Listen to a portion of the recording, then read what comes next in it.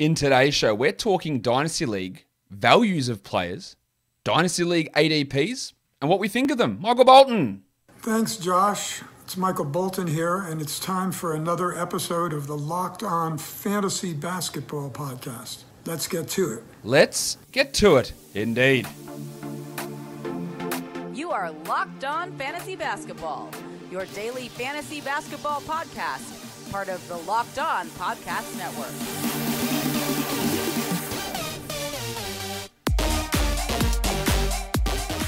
Hello and welcome to the Locked On Fantasy Basketball Podcast brought to you by Basketball Monster. My name is Josh Lloyd and I am the lead fantasy analyst at basketballmonster.com and at Yahoo Sports Australia. And you can find me on Twitter, as always, at redrock underscore bball and on Instagram at Locked On Fantasy Basketball. Yesterday we did a show setting up a Dynasty League and things to take uh, into account and pay attention to with links of where you can go to join Dynasty League. So if you haven't uh, haven't seen that or haven't heard that, go and check yesterday's show. Today we're going to be looking at some Dynasty ADP data, looking at recent Dynasty drafts and mock drafts as to where players are going, and uh, and what we think about it.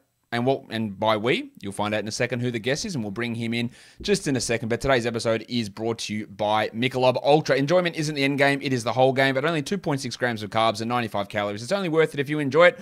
So let's get into it and talk about NBA Dynasty Fantasy Leagues. All right, so let's bring in today's guest now. He is the host of the Punt Intended podcast, new podcast, uh, Dynasty Basketball podcast. He is responsible for the uh, Dynasty content over at Hoopball. We are joined today by Rhett Bauer, first time uh, first time guest on the show. Rhett, welcome.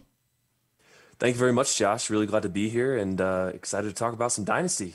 Not often we get to do that on your show, so no, like, listen to yesterday's. Yep, exactly. My show is uh, very much taken up with redraft stuff during the season. We tend to go into more dynasty stuff in the off season because that's sort of where a lot of the dynasty stuff does take place in terms of rookie drafts and trades and all that sort of stuff. And we're got more time to sort of sit on this sort of sit on this information and, and see where where it comes through. But uh, let's let's talk. So what we're going to do is we had Brendan on yesterday from FBI, and I've talked about Matt Lawson already from FBI, who does all these uh, dynasty rankings, but he also does dynasty ADP stuff from from drafts. Now, before we go, we're going to talk about dynasty ADPs here. These are from very limited sample sizes, so they can change pretty rapidly depending on when they do mocks. And what we're going to do, or I'm hopeful to do, is to, to push a few more dynasty mocks and dynasty rookie mocks through. So you'll see me retweeting a lot more of them so we can get more sample size in. But this is over a few dynasty drafts that Matt and the FBI guys have done over the last know, month or so, a couple of weeks um, including the 2021 rookies. These uh, this data uh, includes in terms of startup drafts. So it is pretty interesting when we have, have a look at that. And we're just going to have a look at some players who we think might be overvalued, undervalued based on some of this ADP data that has come out at the moment. So let's uh, let's talk about the first one of these guys now. And I don't actually remember who the first one of these guys is that I've got. Oh yes, oh that's the wrong one. Uh, it's uh, we have issues with uh, with uh, my um my production. Just one sec while I just fix that up. All right, so after that little uh, embarrassing gaff, let's go into talk about the first guy we're going to talk about now, for real this time, and that is Ja Morant, who has a dynasty ADP at the moment of 31.3. Now, Rhett, obviously, Ja Morant did not achieve the level of being the 31st best player in fantasy basketball this season. So, what do you think of this ADP? It uh, it seems to me to be a little high on the surface. I think it definitely is a little high, and most importantly, the players you're taking around Ja Morant in that range are already fantasy studs while also having similar upside. Assists are a premium, we know that, but Ja is really only above average at points and assists. And I really can't justify taking him that high, even with the chance that he improves his shot, and which would do numbers for uh, his threes and both his percentages. Just can't really justify 31 to me. The interesting thing that around that area, if I look at this this table, like Evan Mobley's going a spot ahead of him, which is pretty interesting. Um, Paul George is actually going at 31 as well. So, you know, would you rather Paul George or Ja Morant? I know Paul George is obviously a lot older, but do you get three more years of guaranteed production that's higher than 31? Maybe. Um, we look at you know, someone like a Ben Simmons is around that area. We've got you know, Anthony Edwards is around that zone as well in that 31 range. But yeah, Ja didn't finish in the top 100 this year. So it's a, it's a long way back. And you're right, steals, the percentages, all that sort of stuff needs to come together. Where would you feel more comfortable taking him? I think I'd be okay in the 50s, but I'm not sure. Where, where do you sit with him? That's that's got to be the range, just because he is such a great real life player, and he is so young and provides those elite assists that we know are hard to get. So I, it would be very hard for me to let him slide as your fourth or fifth best player, but I just really struggle taking him as my second or third best player, depending on the size of the league, of course. Yeah, you're expecting some big, big steps forward if he's going to be repaying that in the next two years. And he might, like he might do it next year. I highly doubt that. And in a redraft, and never take him at that level next year. Um, but it is it is pretty aggressive to get him at that spot. Next guy we're going to talk about is Joel Embiid, who has a dynasty ADP of 7.5. Now, jo- Joel is what, just turned 27? So he's not particularly old. But eh, this year, Embiid, on a per game basis, if I can bring up my, my sheet in front of me, eh, was he even as good as that? Like I I do not understand. Like if you are hesitant to take Joel Embiid in the first round in a redraft league, oh, he was fifth on a per game basis this year. With the injuries, with the fact that he's going to miss time, with the fact that he's almost like he's three years away from 30, and to me, if he when he turns 30, he's an older 30 because of the injury risk. There's no way I'm investing the seventh pick in Joel Embiid in Dynasty. I, I just don't see why. I, I know he's great, per game is great, but he's never going to hit that as a total value. No, absolutely not. And I'm really glad you brought him up when we were going back and forth because when I did my dynasty rankings that just posted on Hoopball, I had Joel Embiid outside the top 12 because of that. Fair he's he's got that knee history. Like we know he's got injury history. You know that he's not going to play a full season. So not only are you signing up for a guy that has more injury risk than almost anybody else inside the top 10 of uh, of this ADP, he's already 27 and I just I just can't justify that at all. Before we get on to the next guy, I've got to tell you that Bet Online is the fastest and easiest way to bet on all of your sports action. We're getting ready here for game two of the NBA Finals uh, today by the time this podcast goes to air. And you can check out that all baseball action over at Bet Online. Get all that latest news, odds, and info for all of your sporting needs. And before that next tip, before that next pitch, head over to Bet Online on your laptop or mobile device and check out all of the great sporting news, sign up bonuses, and contest information. Don't sit on the sidelines anymore, as this is your chance to get into the game as teams prep for their runs to the playoffs. Head to the website or use your mobile device and use the promo code locked on to sign up today and receive your 50% welcome bonus on your first deposit. Bet online are your online sportsbook experts. Yeah, the Embiid ones, it is a tough one, but you're right. I wouldn't have him in the top 12 either. And I think you just, he's not like 23 and he's had a couple of, um, yeah, a couple of bad injuries. He's 27. So, yeah, by the time he hits 30, 30 and we're going to talk about some guys who are in that 30 31 range anyway, and their value is already in the toilet in terms of Dynasty ADP. So it is a very interesting one. The next guy we take a look at is a guy that you, you put down a couple of Jalen's in your list of guys you wanted to talk about. So let, us go with Jalen Green, but Jalen Suggs is equally applicable here because they've got ADPs at 42 and 43 for Green and Suggs respectively in a startup Dynasty draft. Um, you want to talk about the green or the Jalen's Green and Suggs. So, you know, what do you make of this you know, ADP, you know, top 50 ADP already for these guys?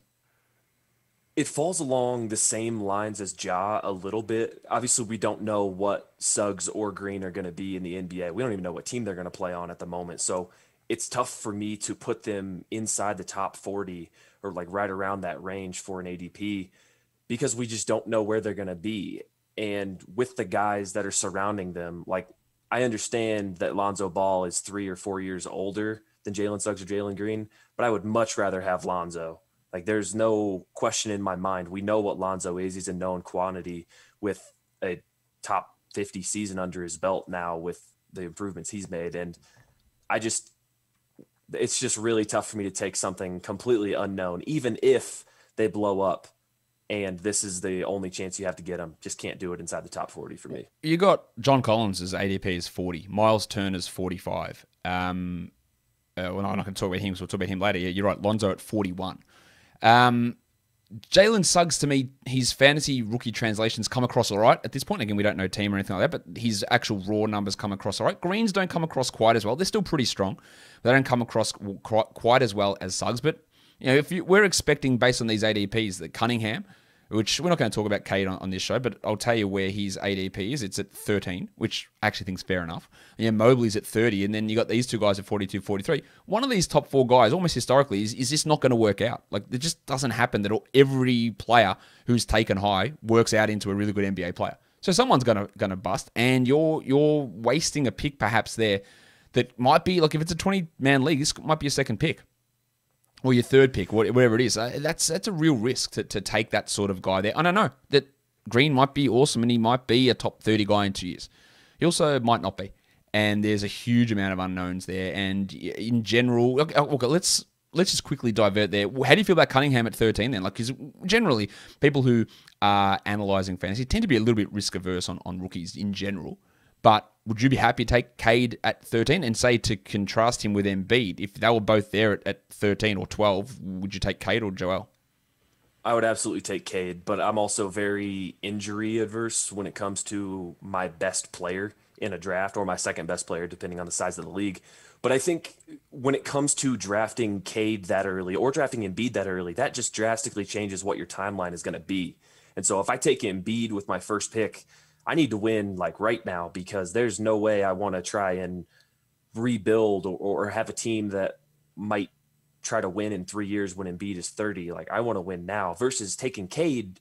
You can deal with some of those growing pains if there are any. And at that point, I might be more excited to take Mobley at 30, Ja at 31, and then Suggs and Green at 40, 42, because you can afford to be a little bit patient. So that timeline matters a lot. But Cade over Embiid would be very easy for me if they're both there at 12. I'm sure you have some of these same sort of problems, but it's why I generally don't do dynasty rankings is because, you know, to me, a ranking list can be really tough anyway and can be really misleading because it's about how things fit. And in Dynasty, you're adding an extra dimension on top of that in terms of age and contendability. So for one team, Embiid might be worth the 11th pick, and for another, he might be worth a 40th pick. And the same goes for a guy like Green and Suggs. If your team is built on Embiid, Paul George, LeBron, they're your first three guys, then you're not taking Green at 40, you're taking him at 80 or whatever, or 70, and you're seeing what happens from there. So that's why I do. People always ask me, Josh, drop dynasty rankings. I don't because there's to me there's just too many complexities in there that I feel like I mm, again you, you've got your dynasty rankings and other people do.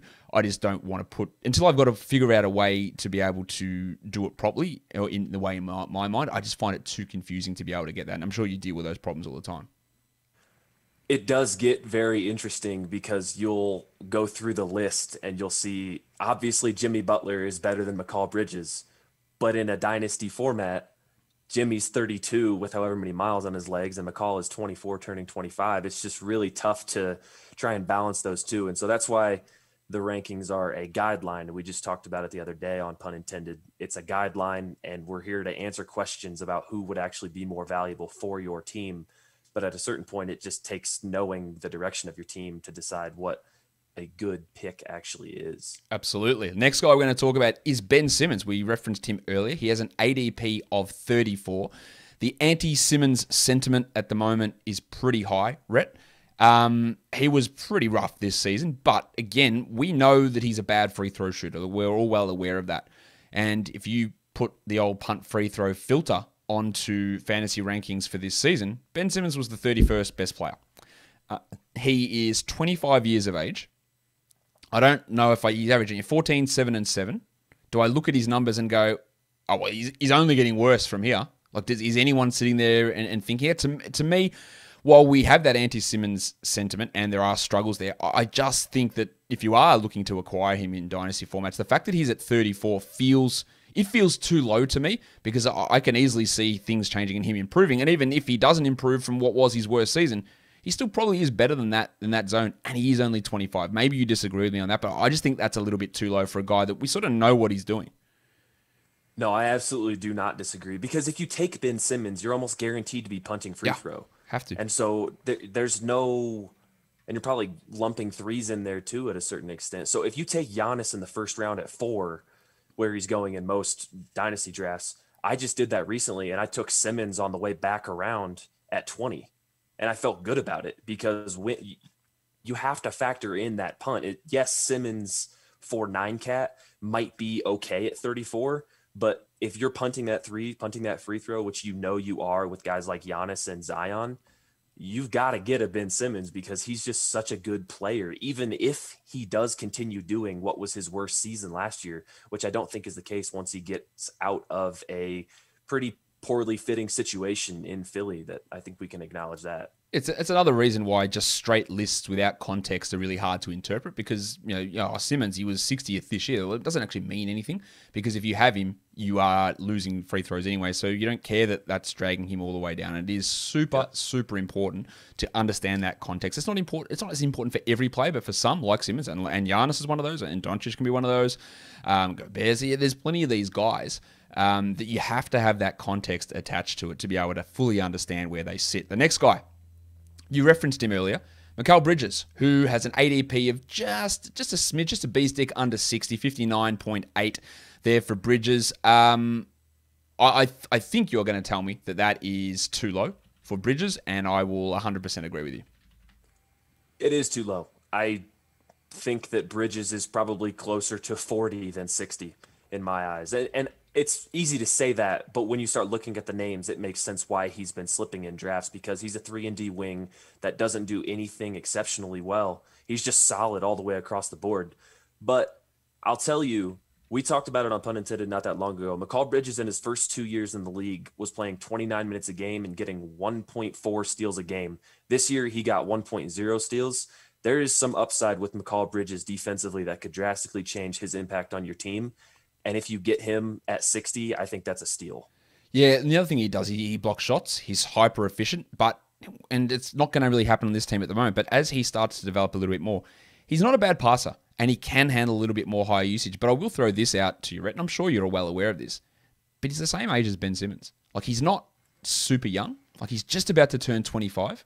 So while we look, he's older than Devin Booker, um, so while we look at Bridges as a guy that's sort of just coming on now and really establishing himself now, he's not that young. So maybe that's, I guess, some of the factor of him dropping down that list a little bit. I still would take him above that because I think he's probably got four, four to five top 45 seasons in him from here on, but he's not 22. Like he, he is 25. He is approaching peak. He is that same age as Ben Simmons, same age as Miles Turner, which again, if you ask the general person who's not as plugged in on this, they would not assume that those guys are all the same age. Yeah, the age may have a part to play, but I think because it's his third year in the league at 25, that's uh, just another piece of context, like you talked about, that matters. And I, even with him being 25, you know you're getting five plus years of great production from him because he plays the most position, most important position in the league and is an elite defender that's always going to be on the floor when the games matter. And that's when minutes played and opportunity is one of the things that I think people really underestimate when it comes to dynasty basketball for sure. Yeah, that's the thing. You know, we can be great per minute players, but if you're not good enough to actually get those minutes up, that doesn't actually mean anything. And uh, Bridges is going to get those big minutes, uh, you would think, for quite a while to go. Now, I'm going to tell you guys about Built Bar because Built Bar, not only is it the best tasting protein bar ever, they've got a new flavor. It is called Grasshopper Cookie. What does it taste like? Well, this is like Built Bar's version of the classic thin mint cookie, all the flavor without all of that sugar, 150 calories, 17 grams of protein, and only 5 grams of sugar. But they've got other delicious flavors coconut, raspberry, salted caramel, orange. If you haven't tried those flavors, or you don't know what your favorite flavor is, just get a mixed box and that will send you 18 bars, all nine flavors, two of each flavor, so you get to try your favorite one. Check out the macros 17 to 18 grams of protein. The calories range from 130 to 180 in the bars, and only 4 to 5 grams of sugar and 4 to 5 grams of net carbs. Go to builtbar.com. Actually, you know what? Built Bar. It's the official protein of the US track and field team. That's pretty cool. Go to built.com. They've changed the website. Built.com. Use the promo code LOCKED15 and you'll get 15% off your order. The promo code is LOCKED15, L O C K E D 1 5 for 15% off at built.com. Okay, next guy on our list Kawhi Leonard, we talk about 3 and D wings, which is what Kawhi started out as, and now he's basically just an offensive juggernaut, and the defense has dropped off, even though he still gets, you know, I guess, legacy all, uh, all defensive team votes. His dynasty ADP is at 26. And yeah, he's just turned 30. Much like Joel Embiid, we have the consistent injury issues with Kawhi. Now, Kawhi on a per game basis, again, this season, was he was really good. What was he? The 10th ranked player this year on a per game basis? Yeah, that's really good. But he played 52 games. He's 30 years of age. He's got a mysterious ACL injury that we have no idea what it is. I don't think that I would even take Kawhi at 26. How do you view that?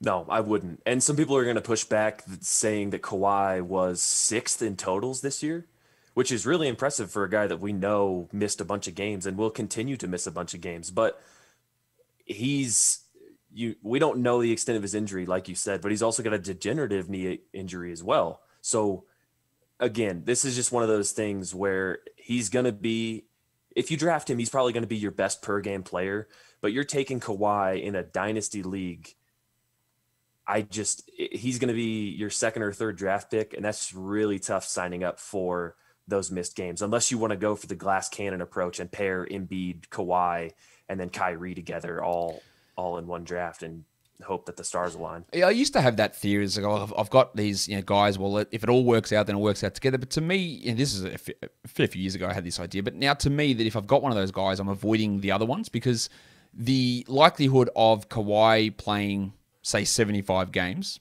let's say it's 2%, right? The likelihood of Embiid playing 75 games is 2%. And you add those together, and that becomes you know a lot smaller to get them both to play 75 games together. It's almost impossible to do that to, it's impossible to get one of them to do it. It's impossible to get more impossible for two, and it's even even more impossible to get three of them to do it at once. So while that might be, hey, if all the stars align, well, you're talking about like a one in a million chance of that happening versus say one in a hundred of one of them doing it with some other solid guys around them. And, and I think that I've you sort of eased off of that. And if I get one of those guys, and I'm avoiding those other players, and especially avoiding players who come into a season with injury because of that. So I do think it is too high, even though he will for next year. He'll beat that number. Like, pretty confident he'll beat that number next year.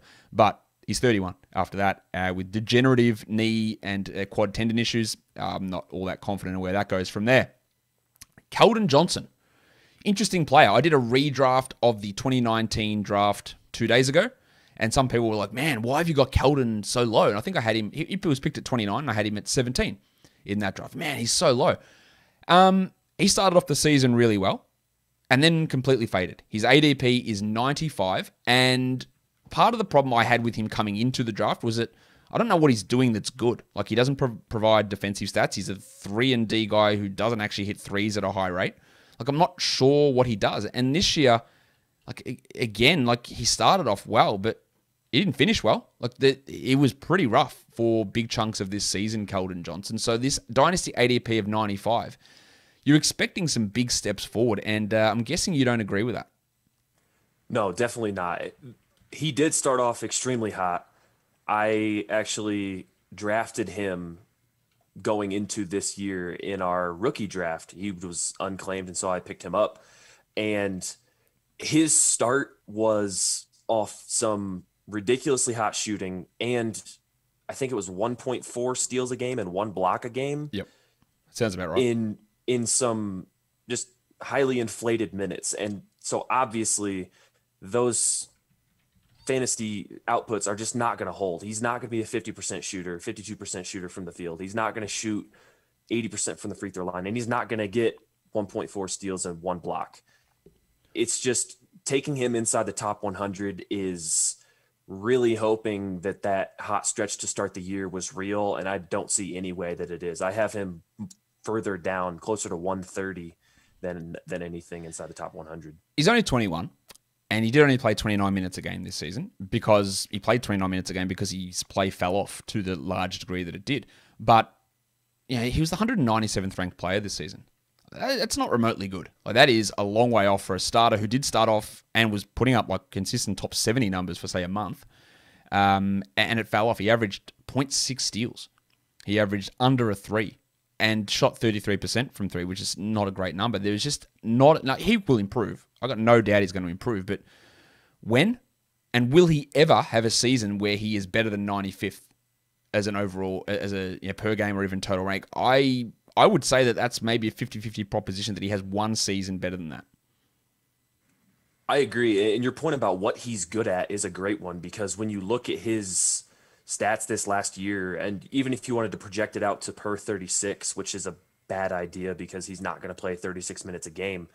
But even then, he's really only above average in rebounds, and that's it. So I just, unless he becomes more of a stocks machine or somehow hits more threes while keeping the field goal percentage up, I would agree. I, I would say it's very unlikely that he meets that 95 ADP even for one season over the next five years, let alone being drafted there as if it's going to be a routine thing.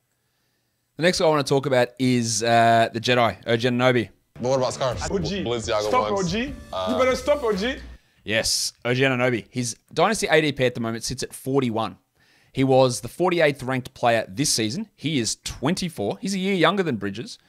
Um, and we saw down the stretch where they, the Raptors just said, all right, um, OG, we actually want you to become a part of this offense, a big part of this offense. And he's in, all right, let's go. Usage went up, efficiency stayed the same. I legitimately think that he can have at least one top 20 season. I think he can be an absolute top 30, top 35 staple. Um, he's two, three years away from his peak. I think he could be an absolute monster for the next five years. And 41 to me feels like you got him at 41, Jalen Green, Jalen Suggs at 42, 43. Oh, man, give me OG because I'm going to get top 30 numbers, I reckon, for the next three years because I think we're going to see OG push. He averaged 16 points a game this year. If he averaged 20 a game next year, I would not be stunned in the slightest. Maybe maybe that's too high, but he's going to up what he does. His usage is going to go up, and we're going to see more from OG, I reckon. I absolutely agree. And it's hilarious to me to see OG sandwiched between Jalen Green and Jalen Suggs because that should be absolutely no competition, even with the four or five extra years for OG. He's just gotten so much better every year in the league, and his fantasy output has gotten so much better. He was 36 this year, and it was on the back of, I think, 1.7 steals a game or something like that. So, and we know that the Raptors players play a lot of minutes. Was that, But- he played 33 minutes and 1.5 steals. Like they're not outrageous. It's not like he's No, getting not at all. 2.4 That's steals repeatable. or you know Yeah. playing 38 minutes. Like that's not impossible. No, definitely not. And I I agree completely that the Raptors should start giving him more opportunity and more responsibility within that offense because he showed he could do it. Yeah, and I, I, I think absolutely when they said, all right, we don't want to go to the bubble, let's really start um, yeah, focusing on what we do for the future. Kyle, you can sit down. He probably won't be back. Um, OG, show us what you can do. And he did it. He did it really well. And I'm really excited to see where where he goes. Maybe I'm wrong on this, but I just think that is some really, really strong value at number 40, number 41 for OG Anunoby. The next guy. Uh, all right, so I'm going to let you take the floor here because I constantly get shit about this guy, like about how, yeah, you hate him, you don't know what you're talking about. Let's talk about Kevin Porter Jr.'s Dynasty ADP at number 86. Was there a more beloved player in fantasy this year who actually didn't deliver what people um, claimed that he was delivering at the time than Kevin Porter. I said I wasn't going to say stuff, but I'm still going to get in trouble. Um, all right, so tell me about Kevin Porter Jr., who was the 127th ranked player on a per game basis this year, despite playing 32 minutes a night and having a 26 usage in Houston. People are expecting him to be much better than what he was this year, and he has just turned 21, so he is very young, and I think there are improvements there. But people are really banking a lot on this bloke. I just can't I can't get on board with Kevin Porter Jr. It's so volume driven on a bad a really really bad Houston Rockets team last year. And if you think that he's going to have the same usage as guys like Kawhi, Anthony Davis, Brandon Ingram, like along those lists, like you look at the names that he's surrounded by when it comes to the usage. Dillon Brooks. well, yeah, we know. Uh, but we just there's no way Kevin Porter Jr. stays doing that much. And even if he does, he just wasn't that good for fantasy. You'd have to be in a very specific build or just really think he's going to get a whole lot better to be taking him at 86. I personally have him closer to 120, which is why I'll probably never roster him. But you know what? I'm kind of okay with that. Now, this is going to sound weird to people who do listen to me talk about Kevin Porter. I actually don't mind taking him there. I, think he's consistently overrated. He gets no steals, no blocks. He has poor field goals, poor free throws. Um, he scores all right. He gets a good assist, and I agree with you about the about the usage. And he's not a player that I think should be considered a foundational piece. That the Rockets go, oh, we got Kevin Porter now. Let's just build around him. That's not how he works. But I actually don't. I don't hate it at 86. I'd probably push it more to 100, maybe around that area. And and I think that yeah, he could probably have three top 100 seasons. Can he have ever have a top 50 year? Probably not. But I don't mind that around that 90, 100 zone. But I do understand your pushback on it because, again, he is completely overrated. And even when he was overrated this year, uh, he didn't really even approach anywhere near that number. Uh, so that, that that is an interesting one, but people have a real because I don't know if you know, Rhett. He scored 50 in a game, mate. And not many people do that, so people love him and think he's going to be awesome. Unless uh, you know, 50 point games is, is a That's all category we you care have. about, you know. Yep, him and uh, Corey Brewer are going to be number one and two draft picks for me next year for sure. Yep, uh, you can't do better. Let's go to the next guy, which is the last guy we're going to talk about today, and that is the one that I really wanted to talk about. So I don't know why I left him to the end. Darius Garland has an ADP of 56. Rhett, this is insane. What are we doing? Why is he at 56?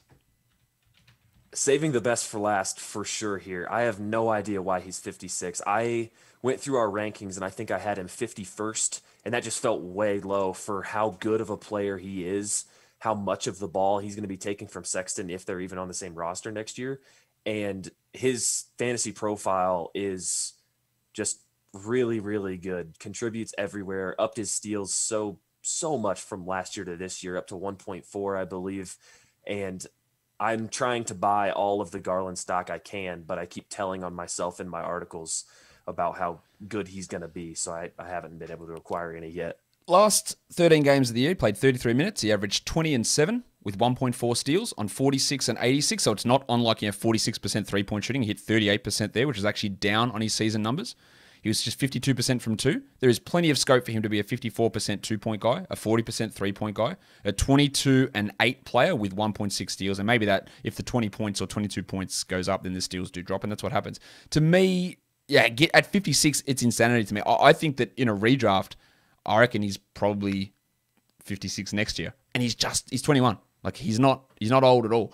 And I think I don't know what it is. Is it because he struggled as a rookie for you know ov- obvious reasons?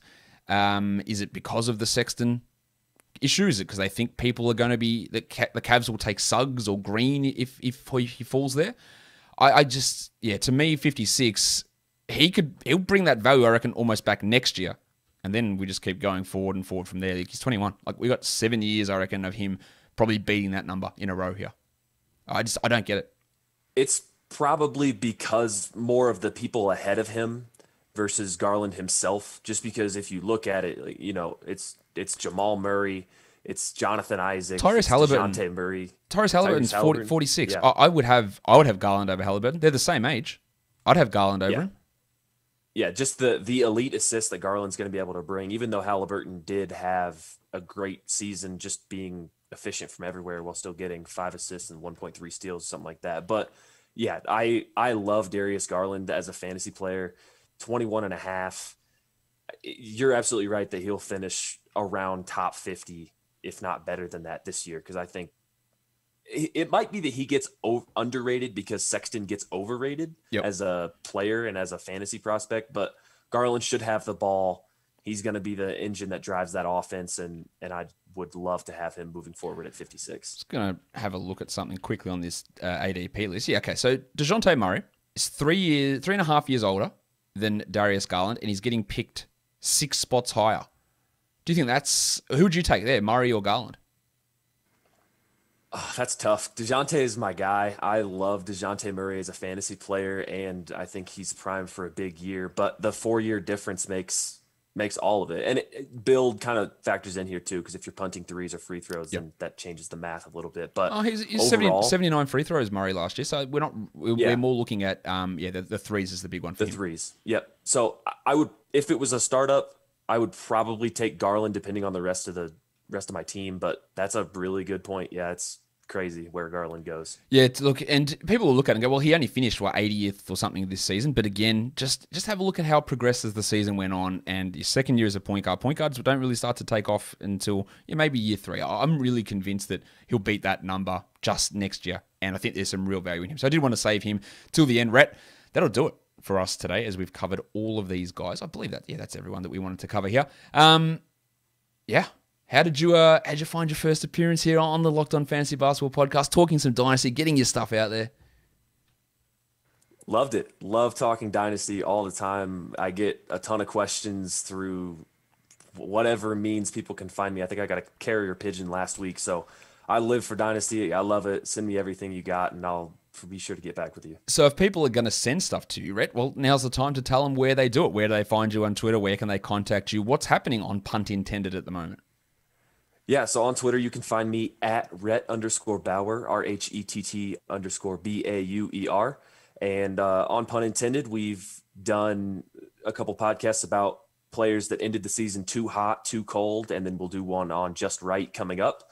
We did uh, a lottery review, seeing what kind of impact that would have on dynasty, and then we just recently did one on punting and team building, uh, and then we're going to get into what value rookie picks have um, for this year and, potentially moving forward as well. So be on the lookout for all that. Yeah, so go and check out Rhett over there on Twitter and on the Punt Intended podcast, which you can find wherever you find podcasts, which you guys know where that is. Rhett, thank you again for coming on, discussing some value of these uh, 10 guys that we discussed today. Uh, much appreciated. Yep, thanks for having me on, Josh. Loved it. All right, and that will do it for today's show. We thank Rhett again for coming on. Don't forget to follow this podcast, Apple Podcasts, Google Podcasts, Stitcher, Spotify, and on the Odyssey app. Well, on YouTube, hit the thumbs up, give it a comment, like, subscribe, all of that stuff that really helps the show out, guys. We are done here. Thank you so much for listening, everyone. See ya.